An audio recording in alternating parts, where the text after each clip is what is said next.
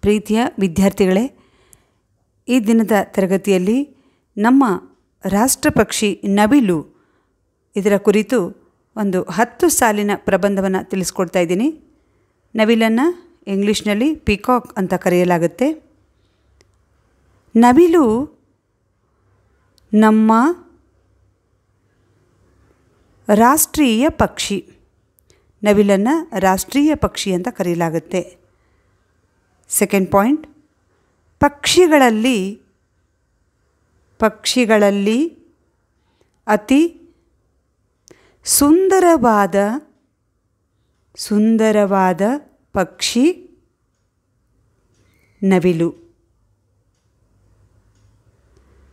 Point number three ಇದು ಉದ್ದನೆಯ ಕತ್ತು, ಅಂದರೆ ನವಿಲಿನ ಕೂತಿಗೆ ಉದ್ದಾಗಿರುತ್ತೆ, ಉದ್ದ ಇರುತ್ತೆ. ಹಾಗೂ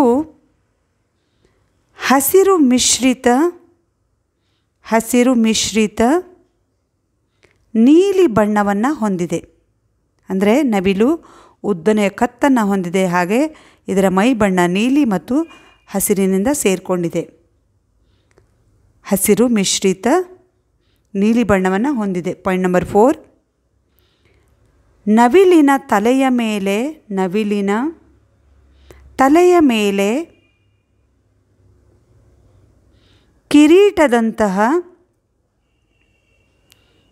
ಕಿರೀಟದಂತಹ ಪುಚ್ಚ ಇದೆ. ಪುಚ್ಚ ಇದೆ. Point number five. ನವಿಲು ಜಗತ್ತಿನ ಎಲ್ಲ ಪ್ರದೇಶಗಳಲ್ಲಿ ಕಂಡುಬರುತ್ತದೆ. ಅಂದರೆ ನವಿಲು ಸಾಮಾನ್ಯವಾಗಿ ಎಲ್ಲ ಪ್ರದೇಶಗಳಲ್ಲೂ ಕಂಡುಬರುತ್ತೆ. ಆದರೆ ಬಣ್ಣ ಬೇರೆ ಬೇರೆದಿರುತ್ತೆ ಕಂಡುಬರುತ್ತದೆ. ನವಿಲು ಷಣ್ಮುಖನ ವಾಹನ. ನವಿಲು ಷಣ್ಮುಖನ ವಾಹನ ಹಾಗೂ ನವಿಲುಗರಿ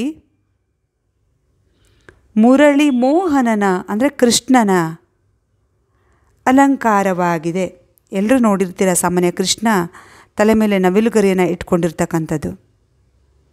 ಪಾಯಿಂಟ್ ನಂಬರ್ ಸೆವೆನ್ ನವಿಲು ತನ್ನ ನಯನ ಮನೋಹರ ಕುಣಿತದಿಂದ ಮಯೂರ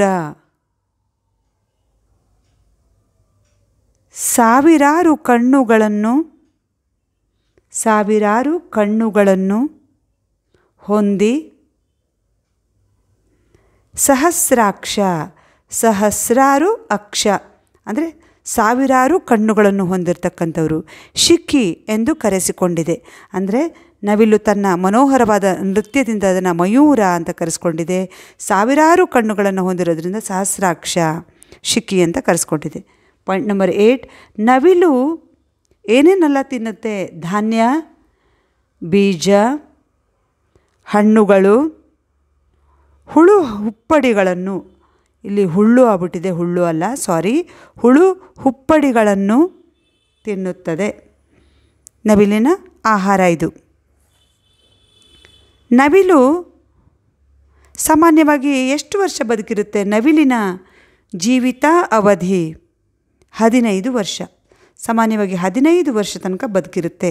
ಪಾಯಿಂಟ್ ನಂಬರ್ ಟೆನ್ ಕೊನೆಯದು. ನವಿಲನ್ನು ಸಾವಿರದ ಒಂಬೈನೂರ ಅರವತ್ತ್ಮೂರರಲ್ಲಿ ರಾಷ್ಟ್ರೀಯ ಪಕ್ಷಿ ಎಂದು ರಾಷ್ಟ್ರೀಯ ಪಕ್ಷಿ ಎಂದು ಘೋಷಿಸಲಾಗಿದೆ. ಮಕ್ಕಳೇ, ಹತ್ತು ಸಾಲಿನ ಪ್ರಬಂಧವನ್ನು ತಿಳ್ಕೊಂಡ್ರಿ. ವಿಡಿಯೋ ಇಷ್ಟ ಆದರೆ ಲೈಕ್ ಮಾಡಿ, ಶೇರ್ ಮಾಡಿ, ನನ್ನ ಚಾನಲ್ನ ಸಬ್ಸ್ಕ್ರೈಬ್ ಮಾಡಿಕೊಂಡು ವಿಡಿಯೋ ನೋಡಿ ಅಂತ ಹೇಳ್ತಾ ಇವತ್ತಿನ ವಿಡಿಯೋ ಮುಗಿಸ್ತಾ ಇದ್ದೀನಿ. Thank you.